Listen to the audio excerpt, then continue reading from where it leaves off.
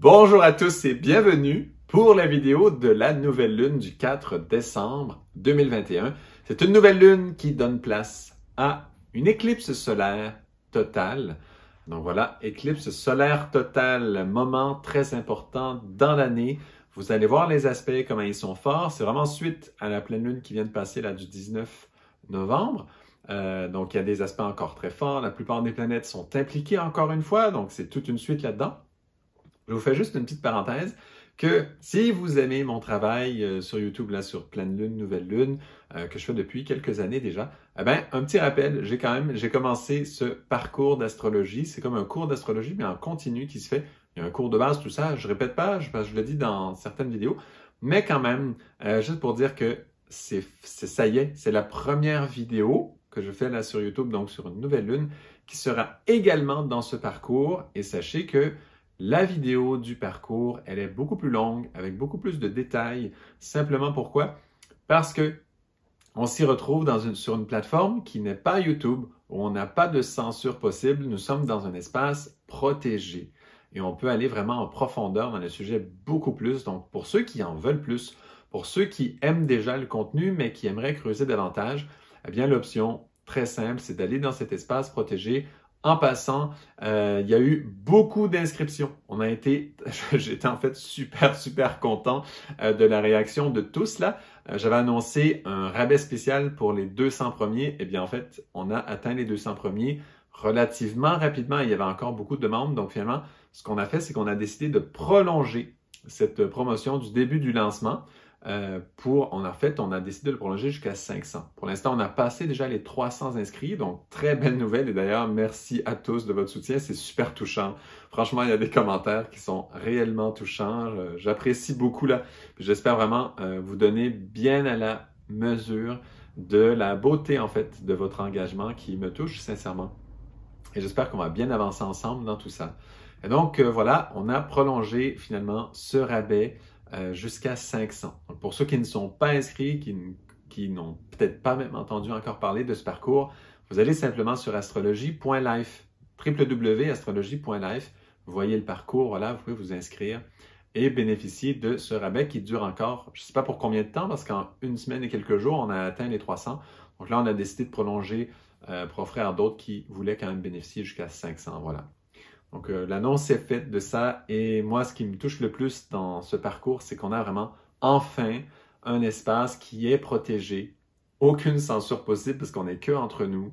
Et en fait, on est aussi dans, avec un groupe de passionnés vraiment de l'astrologie, de ces notions que l'on aborde. Donc, allons-y maintenant dans cette vidéo de la nouvelle lune du 4 décembre 2021, sans plus tarder. Alors, euh, bon, la nouvelle lune, donc la, nouvelle lune, c'est toujours une conjonction Soleil-Lune, elle se passe en Sagittaire. Elle est en Sagittaire à 12 degrés et juste à côté, il y a Mercure à 15 degrés, donc ils sont vraiment en conjonction. Et comme je disais, le Soleil est en éclipse totale lors de cette nouvelle lune, au moment du précis de cette nouvelle lune. Nous sommes donc dans l'éclipse totale. Et ça, ça veut dire quoi? Ça veut dire que la lune va cacher le Soleil. Donc la Lune, elle, qui est entre la Terre et le Soleil, se trouve, bien sûr, voilà, c'est elle qui nous fait face et elle est capable de voiler comme ça le Soleil entièrement. Parce que c'est incroyable comment c'est fait là, astronomiquement, honnêtement, c'est assez impressionnant. Comment la Lune est capable, dépendamment de la distance de laquelle elle se trouve de, euh, de la Terre, elle est capable d'avoir la grandeur, voilà, suffisante pour pouvoir couvrir comme ça le Soleil. Parfois, elle ne l'a pas, ce qui fait les éclipses solaires annulaires, mais là, dans ce cas-ci, c'est vraiment une éclipse solaire totale. donc, elle a cette grandeur et elle couvre le Soleil entièrement. Donc, elle vient voiler comme ça le Soleil pour un petit temps, pour un petit moment, lors de la nouvelle lune exacte. Et donc, ce qui est très particulier, au moment où le Soleil comme ça sera voilé par la Lune, et là, vous savez, foncièrement dans les principes absolus, le Soleil est masculin, la Lune est féminine. Et donc, on voit que le féminin, quelque part, cette lune, cette force féminine de la lune, vient voiler, couvrir le soleil, cette force masculine solaire. On voit ça déjà. En même temps qu'il y a donc cette nouvelle lune, il y a un peu plus loin dans le zodiaque, donc dans le signe du Capricorne, Vénus qui rejoint Pluton. La conjonction n'est pas encore précise, mais suffisamment pour avoir un impact réel. Donc, on a une conjonction Vénus-Pluton. Il faut savoir que Vénus est en train de ralentir sa course à ce moment-là, puisqu'elle deviendra stationnaire à 26 degrés là, en Capricorne et Pluton lui est à 25. Donc, elle est en train de ralentir sa course puisqu'elle va bientôt rétrograder. Elle va devenir stationnaire en conjonction à Pluton, à environ un degré d'écart, et elle va comme ça après se mettre à rétrograder. Et cette rétrogradation est donc à l'origine, pour ceux qui ont regardé la vidéo de l'année 2022, où je fais un peu euh, plusieurs, plusieurs thèmes là tout au long de l'année, de l'année 2022, eh bien, vous vous rappelez qu'au début et à la fin de l'année 2022, il y aura une conjonction Vénus-Pluton et Mercure qui s'ajoute. Hein? Et donc, il faut voir que déjà là, au moment de cette éclipse solaire totale du 4 décembre, on est exactement dans cette approche de Vénus qui, comment, qui programme déjà donc cette année 2022 par cette proximité Vénus-Pluton. Parce que Vénus là déjà en conjonction, elle va se rapprocher, se rapprocher, elle va dépasser légèrement Pluton, puis elle va rétrograder, et pendant le début de sa rétrogradation, alors qu'elle sera encore en conjonction à Pluton, la nouvelle année 2022 va commencer, le 1er janvier va sonner. vous voyez que déjà lors de cette éclipse solaire totale du 4 décembre, eh bien, la conjonction Vénus-Pluton déjà parle. Et on vient de nommer que la Lune cache le Soleil, donc que le féminin cache le masculin à ce moment-là. Et en même temps, on voit que Vénus rejoint Pluton. Et donc l'autre planète foncièrement féminine dans les planètes personnelles, il y en a deux, Lune, et j'inclus Luminaire dans les planètes personnelles. Donc il y a Lune et Vénus qui sont foncièrement féminines. Eh bien, la Lune, elle cache le Soleil, et Vénus, elle vient voir Pluton, qui est qui lui va toujours résonner avec le, ce côté très sombre. Ce côté justement, il n'y a pas de lumière. Symboliquement, sur Pluton, c'est un espace le plus loin du Soleil, et donc il vient représenter cet espace où il est le plus loin. Comme ça, de la lumière, et Vénus, qui est l'autre planète féminine, elle, en conjonction. Une conjonction toute spéciale puisqu'elle va devenir stationnaire, ça veut dire qu'elle ralentit sa course, elle va rester très longtemps collée à Pluton, jusqu'à commencer l'année avec Pluton, l'année 2022. Donc, voyez là, il y a cette conjonction toute spéciale de Vénus avec Pluton qui commence.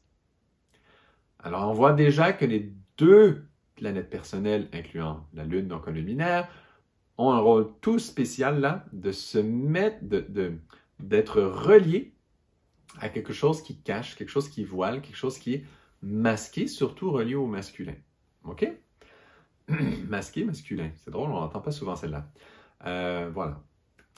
Et donc, maintenant, on va aller voir qu'est-ce qui se passe avec Vénus-Pluton. Parce que justement, comme par hasard, il y a un aspect très important avec cette fameuse conjonction de Vénus-Pluton. Il y a un sextile de chaque côté. Donc, il y en a un qui va avec Neptune, un sextile, puis il y en a un autre sextile qui part et qui va se rendre à Mars. Donc, bien sûr, Neptune est en poisson, Mars est en scorpion. Et d'ailleurs, Neptune et Mars forment un trigone. Donc vous voyez que ça fait un triangle bleu, ça. Formé du trigone entre Mars et Neptune, Mars en scorpion, Neptune en poisson. Et les deux font un sextile, donc un 60 degrés, un aspect bleu de demi-longueur, là, vraiment la moitié du, trigone, et qui vont vers la conjonction Vénus-Pluton en Capricorne.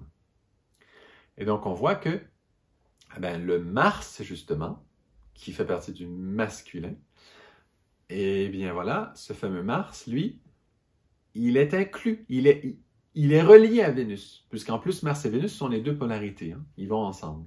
Donc lui est relié à cette conjonction de Vénus avec Pluton. Et si on poursuit un tout petit peu le regard sur les aspects, on voit que Mars, de son côté, a certes ce sextile à Vénus-Pluton et aussi ce trigone à Neptune, mais encore un carré à Jupiter qui se trouve vers la fin Verseau. Donc Mars a deux aspects du coup, ben, trois finalement aspects majeurs, le sextile à Vénus, le carré à Jupiter et le trigone à la Neptune. Donc voyez, ça, ça fait beaucoup, beaucoup d'aspects fort importants. Euh, et ça nous montre comme ça comment les planètes féminines ont un rôle clé, puisque Vénus-Pluton, c'est central dans le triangle bleu. donc, un rôle clé à influencer Mars, et, Vénus-Mars, c'est les deux polarités qui vont ensemble, Et la Lune, elle, a un rôle très clé, puisque c'est l'éclipse solaire totale, c'est très clair et net, on peut pas, il n'y a pas photo, là. On vient voiler le Soleil. Donc, première chose. On va rajouter à ça, je vais juste nommer l'aspect. On va pas trop trop le, développer tellement dans la vidéo, mais il y a aussi un autre triangle qui existe dans cette nouvelle lune. Je le nomme juste pour qu'on l'ait en tête. Et donc, la fameuse conjonction Soleil-Lune, hein? donc cette nouvelle lune, l'éclipse, en fait, elle est là, en Sagittaire, collée à Mercure, dans cette conjonction Soleil-Lune-Mercure, fait un sextile à Saturne en verso, qui lui, bien sûr, fait encore son fameux carré à Uranus en taureau. Hein? Ça, c'est revenu, c'est activé. Voilà, il fait son carré, et donc Uranus fait quinconce à la conjonction en Sagittaire de Lune, Soleil et Mercure. Donc, on a un triangle comme ça avec une ligne verte qui est le quinconce, le carré c'est la ligne rouge et le sextile la ligne bleue. On a un, triangle comme ça qui est euh, un peu particulier et qui nous montre que les deux endroits, donc les deux signes impliqués, euh, euh, ces, deux forces-là, de, donc de Saturne avec avec Lune, Soleil et Mercure, donc ce, sextile, si on veut, qui est l'aspect, on va dire, bénéfique où l'énergie coule, viennent pousser par le quinconce, par le carré, viennent pousser Uranus en taureau et viennent dire, ils viennent pousser là, il y a un changement qui doit se passer. Ce changement pousse de l'éclipse solaire totale, ce qui est lune-soleil, vous voyez, par le quinconce. Et Saturne lui pousse de son côté aussi. Et quand Saturne pousse avec une éclipse solaire totale, eh bien, ça donne des conséquences. C'est très puissant parce que Saturne, lui, s'occupe du destin, s'occupe de forces vraiment euh, costauds. Quand lui décide de pousser, ben voilà, les règles, elles sont comme ça il faut suivre. Donc voilà, il y, a, ces deux poussées qui viennent toucher le Uranus en taureau. On se rappelle du rôle d'Uranus en taureau. Les changements doivent se passer. Les changements doivent se produire. Voilà. Donc ça, c'est pour ce triangle-là un peu particulier qu'on ne reparlera plus trop, je crois, dans cette vidéo, mais ça vous donne un peu l'idée de ces aspects. Donc là, finalement, quand on a regardé ça, vous voyez qu'on a pratiquement parlé de toutes les planètes. Il n'y a presque aucune planète de laquelle on n'a pas mentionné. Donc, vous voyez que tout est aspecté. Encore une nouvelle lune très forte. Donc, tout est lié, tout est puissant, et on avance comme ça. Il y aura d'autres mini-aspects qu'on aurait pu parler avec Chiron, tout ça, mais là, on ne va pas rentrer là-dedans. Donc, allons-y maintenant dans un peu d'approfondissement quand même des aspects majeurs. Donc surtout, le sujet d'intérêt, c'est ces forces féminines, comment est-ce qu'elles viennent voiler comme ça euh, le masculin? Qu'est-ce qui se passe euh, dans ce sens? Eh bien, en fait, il se trouve que les forces féminines viennent s'imposer. Elles viennent vraiment s'imposer. Et ça, on ne l'a pas souvent. Parce que normalement, ce qui s'impose, c'est quoi? C'est Mars. Hein? Le Soleil peut s'imposer aussi. Il peut nous forcer à mettre un chapeau, aller se mettre à l'ombre, ou même aller faire la sieste s'il est trop puissant. Euh, voilà. Donc, il y a des forces normalement masculines qui s'imposent. Mais là, dans cette nouvelle lune du 4 décembre, les forces féminines, elles, vraiment prennent place, sont, ce sont elles qui disent, OK, il y a un changement qui doit se produire pour que les forces féminines s'imposent, eh bien, il faut qu'elles aient été un peu provoquées quelque part. Parce que ce n'est pas dans la nature du féminin de s'imposer. Souvent, le féminin, il va travailler, mais de façon un petit peu cachée, un peu voilée. Vous savez, hein, ce fameux, cet adage qui dit euh, derrière chaque grand homme, il y a une grande femme ou une petite femme, dépendamment de la version, euh, qui veut plus ou moins euh, souligner un aspect ou un autre.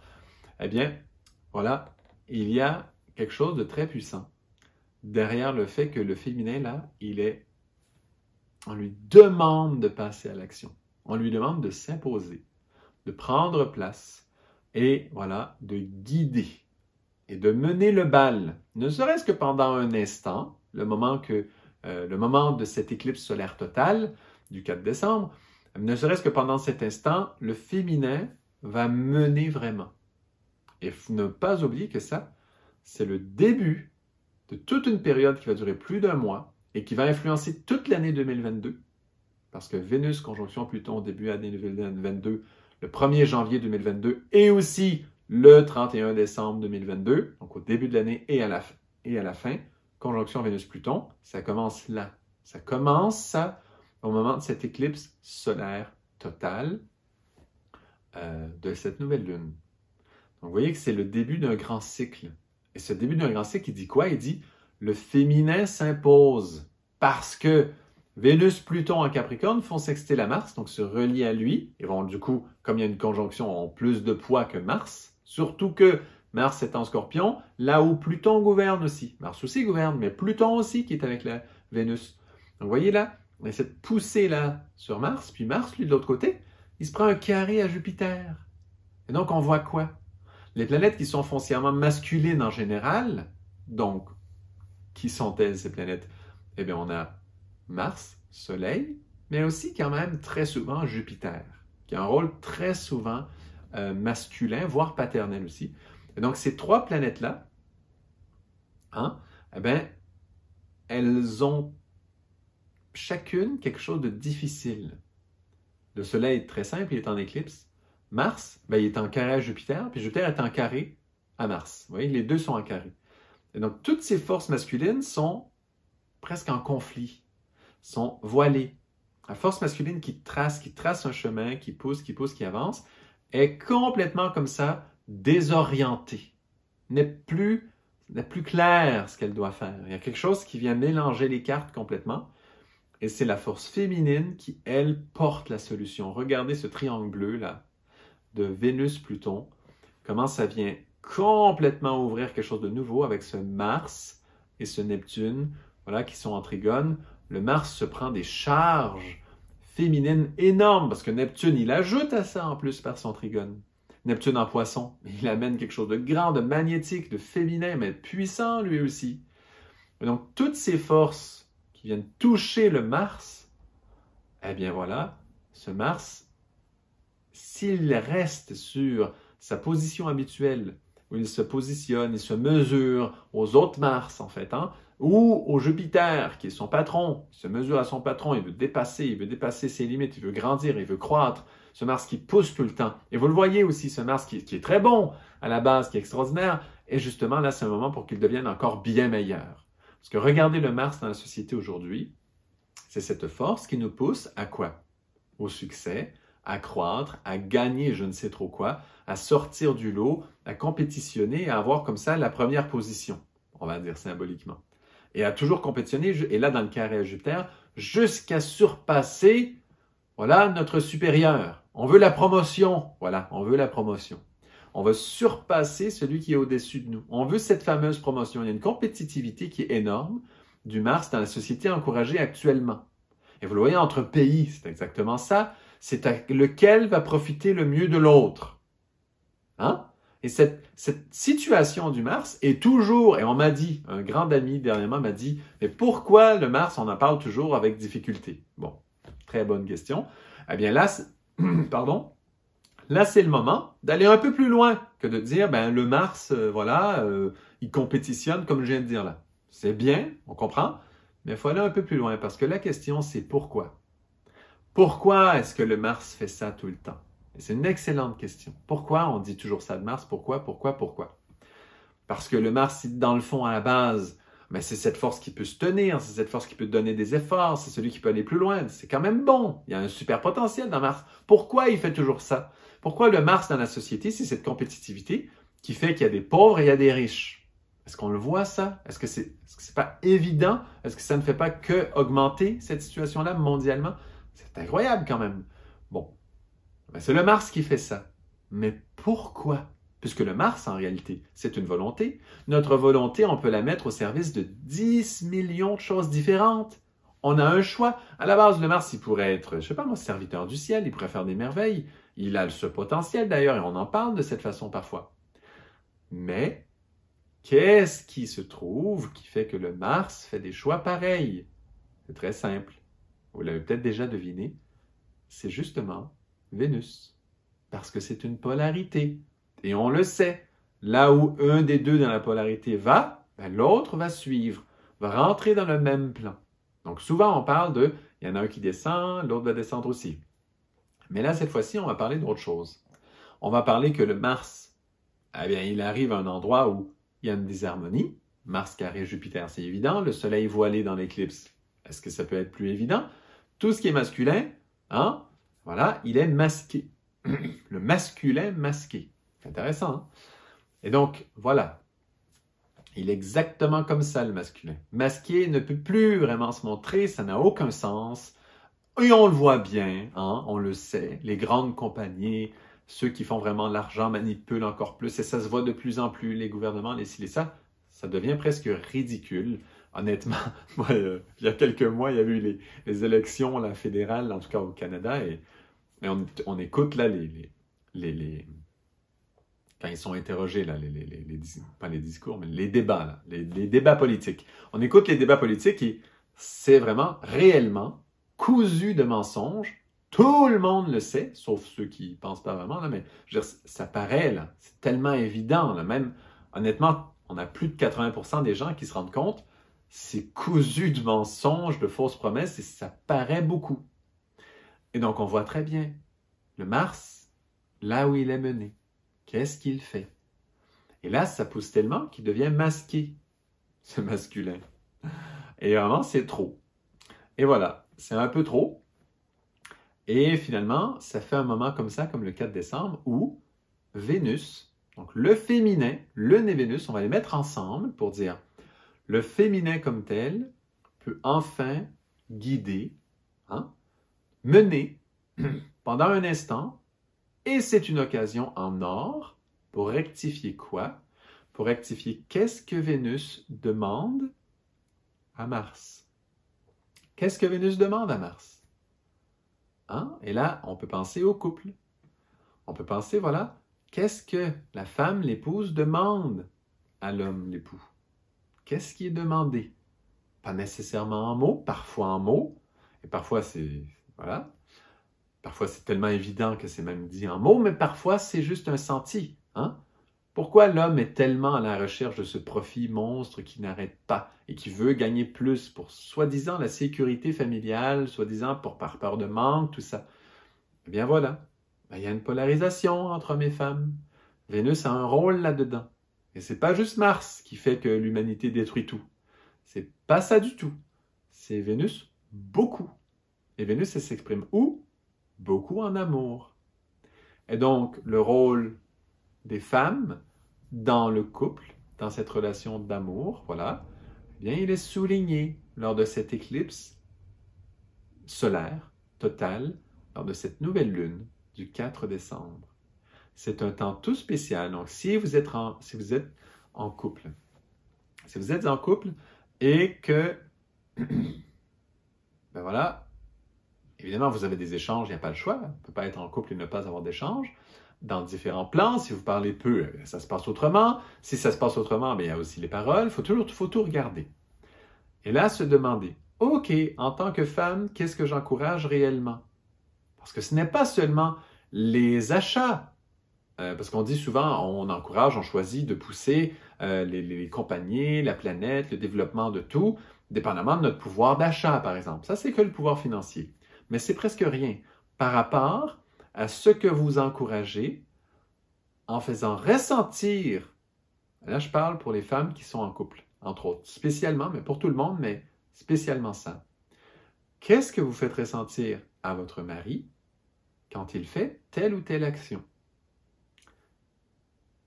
Quand il a une promotion, par exemple. Est-ce que c'est extraordinaire? Parce qu'il a une promotion, ça va faire plus d'argent, la famille va être plus à l'aise, on va pouvoir faire plus de choses, plus de liberté, tout ça. Et si on fait ça, on encourage quoi derrière? On encourage bien sûr la compétitivité du Mars. Parce que le Mars, lui, il retient quoi? Faut pas oublier que quand Vénus donne à Mars, Mars, il va s'en rappeler toute sa vie. Quand Vénus donne à Mars, Mars, il est complètement sous l'effet de ça. Et il ne pense pas très loin parce que c'est Mars, et lui, Mars, il va penser à quoi? Il va penser à, oh, ce que j'ai fait, c'est bon, je vais en refaire. Je vais refaire, je vais refaire mieux parce que Mars, il aime performer. Et donc, le Mars des hommes, là, quand il reçoit comme ça, ah, mais c'est bon de faire ça, et quand il reçoit aussi, c'est pas bon parce que là, il n'y a pas assez, on va dire, hein, euh, financièrement, par exemple, et eh bien là, il se fait dire, ça, c'est pas bon, il faut faire mieux. Mais on ne le dit pas comme ça souvent, mais c'est ressenti de cette façon. Et ça, c'est subtil, Parce que le féminin, souvent, il agit de façon un peu cachée. On disait ça. Il agit souvent de façon un peu cachée parce que c'est les émotions. Et les émotions, on n'en parle jamais. Et on dit souvent, les hommes ont peu d'émotions, mais c'est tellement faux. C'est juste que les hommes ne montrent pas ça trop. Ils sont pas émissifs au niveau émotionnel. Mais ils en ont évidemment. Et en fait, ils sont extrêmement euh, vulnérables dans ce plan. Donc, quand les femmes ont, par rapport au couple, je parle, hein, donc les épouses, hein, quand elles vont émaner quelque chose par rapport à l'homme, ben, de savoir que ça a beaucoup, beaucoup d'impact. Parce que le Mars, lui, va le connecter tout de suite à ces efforts martiennes qu'il a donnés pour arriver à ce résultat. Il va se dire, ça c'est bon, je vais en faire plus. Et si ça inclut de faire des choses qui sont pas tout à fait honnêtes, hein? Et on dit, oui, oui, c'est honnête. Il faut juste pas trop regarder, mais si on regarde pas trop, c'est honnête.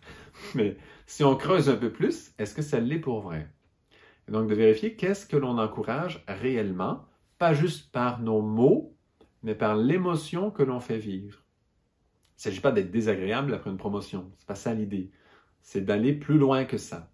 Et c'est vraiment d'ouvrir d'autres notions et s'assurer de ce que l'on encourage pour vrai. Et même si on encourage des choses qui, culturellement, actuellement, ce sont de belles valeurs, c'est environnemental, c'est ci ou ça, eh ben voilà, le succès qu'une femme va encourager ou le mouvement ou le changement de vie que la femme dans le couple va encourager, eh bien, c'est quoi exactement? La énorme question. Donc, vous voyez là, là, je, la sens, hein, la fameuse limite du YouTube, là. Je la sens. Je ne peux pas aller beaucoup plus loin parce que c'est trop. C'est des sujets trop gros, des sujets trop grands. Donc, pour ceux qui veulent approfondir, je vous dis, euh, voilà, dans la vidéo de cette même nouvelle lune qu'on aura sur le parcours astrologie.live, ben, on va aller encore plus loin sur ce sujet-là. Et vous sentez là comment il est grand. Mais honnêtement, sur YouTube, il y a trop. Il y a trop de choses, il y aura trop de commentaires. Et donc, je ne peux pas aller beaucoup plus loin que ça parce que ça prend un espace protégé pour rentrer dans ces sujets-là. Et voilà, on a enfin, on a un espace protégé, c'est astrologie.live. Donc, euh, voilà. Pour ceux qui sont inscrits, euh, on s'y retrouve. Pour ceux qui veulent s'inscrire, mais qui ne peuvent pas pour une raison X, ben, ne vous gênez pas. Écrivez-nous. Hein? Euh, écrivez aux adresses. Donc déjà, il y a yann à commercial astrologie.live comme adresse possible pour écrire. Euh, sinon, si c'est une question vraiment technique, ben, il y a aussi info à commercial i humanité, mais sans l'accent aigu, donc i humanité, on va dire. voilà. Il y a aussi, ça c'est au niveau vraiment fonctionnel. Donc, il y a comme ça des ressources. Sinon, vous pouvez aussi aller dans la description de la vidéo. Il y a des liens que vous pouvez cliquer. N'hésitez pas à nous contacter parce que vraiment le but, c'est d'avoir un espace protégé où on n'a que des personnes qui veulent approfondir pour vrai et on ne se trouve pas là où, exactement comme le moment que je vis actuellement, je sens, si je pousse plus, on va être dans un espace où les réactions ne seront pas harmonieuses trop. On ne peut pas aller plus loin que ça. Et c'est pas pour cacher quoi que ce soit, vraiment pas. Et je le fais toujours comme ça. Vous avez souvent senti, sûrement, dans mes vidéos, à un moment donné, je m'arrête un peu. Je peux pas aller plus loin. Je le sens. Je le sens, c'est trop. C'est trop, c'est pas nécessairement pour le grand, grand public. Voilà. Donc, c'est pour ça euh, que ce parcours existe, pour avoir cet espace protégé. Voilà. Donc là, vous comprenez quand même le sens de cette nouvelle lune. Et du coup, je récapitule un peu là comment le rôle de la femme de le comprendre, ce rôle. Évidemment que l'homme aussi a un principe féminin intérieur et que lui aussi a un rôle par rapport à ça. C'est pas que les femmes qui doivent se regarder, évidemment les hommes aussi. Mais, règle générale, les femmes ont quand même une force plus grande à ce niveau-là, et c'est très évident dans le ciel comment c'est placé. On voit, on a même identifié, on l'a dit ensemble, que ce, il y a des aspects-là qui sont à la source, à la racine, à la base de ce qui va colorer l'année 2022 conjonction Vénus-Pluton. Hein? Et donc ça, c'est à la base de ce qui s'en vient, qui vient toucher les sujets plutoniens, les sujets profonds, là, dont on n'ose pas parler, dont on n'a presque pas le droit de parler. C'est incroyable, Pluton. Et donc cette conjonction Vénus-Pluton, là, des sujets grandioses, comment la responsabilité de la femme par rapport à l'action martienne dans le monde. Qu'est-ce qu'elle encourage réellement? Et le réellement, faut oser aller le voir faut oser être sincère. Voilà. Voilà pour ça. C'est bon? Donc, euh, voilà. Je m'arrête là-dessus. Donc, euh, je pense que vous comprenez, là, c'est super important. Bah, c'est comme excitant, là, parce que c'est un sujet très grand. Donc, cette, cette, cette force féminine, faut oser la regarder. Les hommes qui font, par exemple, des horreurs dans le monde, eh ben, est-ce que par hasard, leur Mars n'aurait pas été encouragée d'une certaine façon très précise, qui ne pensait pas être mauvaise, qui pensait même peut-être être très bonne au départ, mais le Mars a pris ça, comme Mars aime Vénus, eh ben, il va refaire ça des centaines de fois, des milliers de fois, il va l'amplifier, amplifier, amplifier, parce que c'est la direction qu'il a reçue. Et si c'est le message d'amour réel qu'il a déjà reçu dans sa vie, il va le refaire des milliers de fois, il va être amplifié tout le temps. Donc le Mars, c'est toute une force. Donc oui, le Mars est positif, ça peut être un serviteur de la lumière, mais ça va dépendre beaucoup, beaucoup, beaucoup du rôle de Vénus. De la femme, donc de la Vénus qui est à côté du Mars. Qu'est-ce qu'elle lui donne?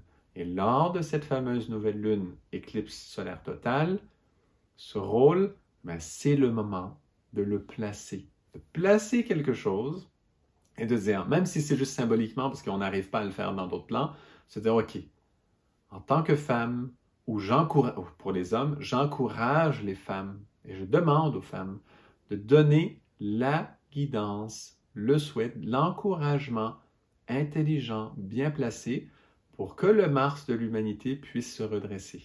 Hein, on dit toujours, si l'âge d'or vient lors de cette ère du Verseau, c'est grâce aux femmes. C'est les femmes qui vont installer l'âge d'or et qui peuvent permettre ça. Et là, on le touche lors de cette éclipse solaire totale d'une façon sensationnelle, parce que les deux planètes féminines font ce rôle de prendre le rôle de mener et de s'imposer au masculin. Donc là, on le voit. Habituellement, c'est caché et on ne se rend pas compte de l'effet du féminin sur le masculin. C'est un sujet qui est très, très, très caché parce que ça va dans tous les plans et tout le temps.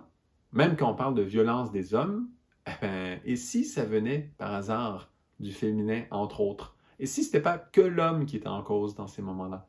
Eh oui, parce qu'on ne regarde jamais ce côté-là. Mais il faut aller le voir. Là, il faut y penser. Qu'est-ce qui influence cet homme? Qu'est-ce qui influence ce Mars? Il y a, des, il y a aussi, Mars est tellement encouragé dans la société aujourd'hui, il y a aussi des femmes qui, se mettent à avoir un Mars très, très, très, très actif.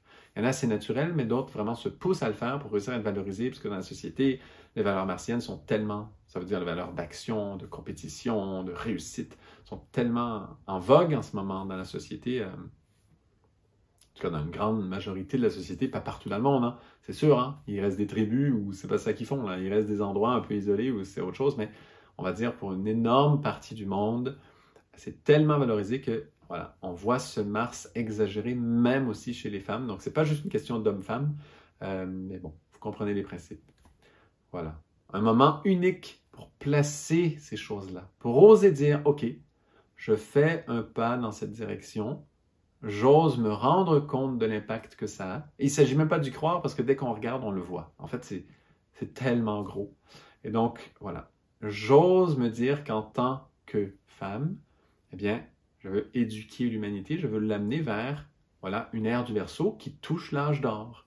Et si ce travail ne se fait pas, ben, l'âge d'or n'arrivera jamais dans l'ère du verso parce que ça n'arrive pas comme ça tout seul. Voilà. Et c'est ce rôle unique qu'il faut mettre en avant. Je pense que c'est assez clair. Donc, merci pour votre écoute. Euh, voilà. Et à très bientôt pour une autre vidéo d'astrologie.